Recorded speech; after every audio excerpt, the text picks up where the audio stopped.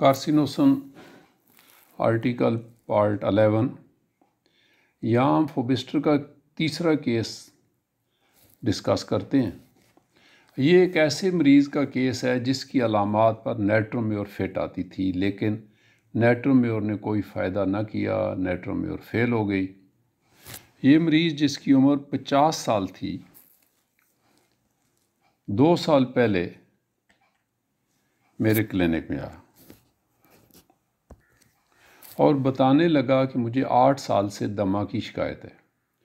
मरीज़ की माजी की हिस्ट्री में माइग्रेन है और सर का दर्द दब जाने पर दमा की शिकायत पैदा हो गई। इक्कीस साल की उम्र में सर पर चोट लगी। बचपन में टांसिल्स और एडियोनाइट्स थे जो ऑपरेशन करके निकाल दिए गए।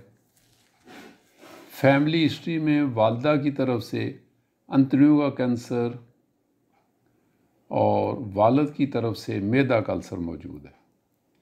दिमागी अलामत में जो चीज़ें नोट की गई, दूसरों के साथ हमदर्दी, मौसीकी से असासीत धूप में थकावट, नमक बिल्कुल पसंद नहीं, शाम का वक्त अच्छा गुजरता है दमा मरतूब मौसम में बढ़ जाता है, सुबह दस बजे दम, दमे में ज़्यादती हो जाती है सर्द, खुश्क मौसम में दमा बेहतर रहता है। इसे और टू थर्टी, टू हंड्रेड और वन एम मुख्तलिफ़ वक्फ़ों से दी गई, जिसके बाद मर्ज़ में ख़ासा अफाका हुआ। लेकिन दो हफ़्ते बाद मरीज़ फिर वापस आ गया। इस बार नेट्रोम्योर टू हंड्रेड, वन एम और टेन एम मुनासिब वक्फ़ों से दी गई। कुछ बेहतरी हुई, लेकिन मर्ज़ फिर वापस आ गया। अब की बार नेट्रम साल 200 दी गई, लेकिन कोई ख़ास फ़ायदा नहीं हुआ। मैंने ख्याल किया कि आम हालात में इस मरीज़ पर नेट्रोम्योर ने बहुत अच्छा असर करना था, लेकिन दो हफ्तों बाद नेट्रोम्योर का असर ख़त्म हो गया और नेट्रोम सल्फ ने कुछ फ़ायदा ही ना किया। यानी नेट्रम साल भी फेल हो गई। मरीज़ पर इन दो दुआओं के अलावा कोई और दुआ ज़ाहिर ही नहीं हो रही थी चूँकि नेट्रोम्योर का कार्सिनोसन के साथ ख़ास तल्लक है। और मरीज़ की वालदा की हिस्ट्री में भी कैंसर मिलता है, लिहाजा कार्सिनोसन थर्टी तजवीज़ की गई। अब सामीन ग्राम देखें वो कार्सिनोसन कैसे इस्तेमाल कर रहे हैं। यानी नेट्रोम्योर की हिस्ट्री थी, केस था, काम नहीं किया तो फिर नेट्रोम कार्सिनोसन पर आया। और कार्सिनोसन ने कई माह तक मरीज़ को दमा से निजात दिलाई रखी। कई माह बाद कार्सिनोसन थर्टी दोहराई गई। और अभी तक तवील अरसा हो चुका है कि मरीज़ को अफाक है।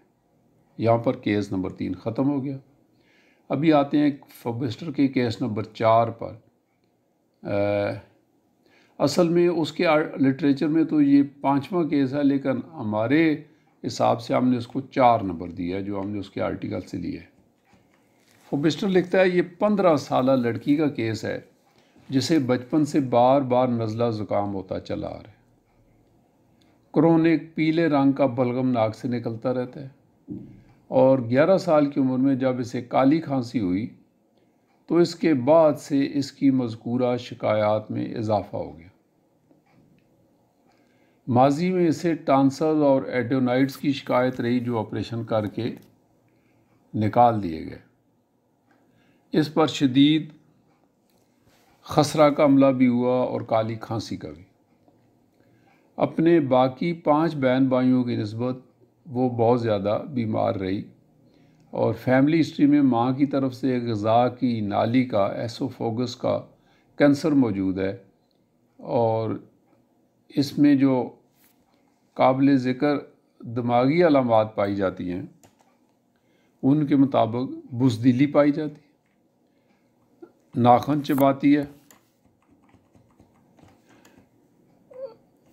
प्यार मोहब्बत करने वाला मजाज है नाच गाना बहुत पसंद है और पढ़ाई में किताबी कीड़ा है। खौफ की लहर इसको मैदे में महसूस होती है। ज़रा ज़रा से शोर से चौंक उठती है और अगर स्विमिंग पूल में क्लोरीन मिक्स की हुई हो तो इसको एक्जिमा हो जाता है। और किसी भी परेशानी के बारे में सोचती है तो इसे कह आना शुरू हो जाती है। शक्ल सूरत में कार्सिनोसन लगती है।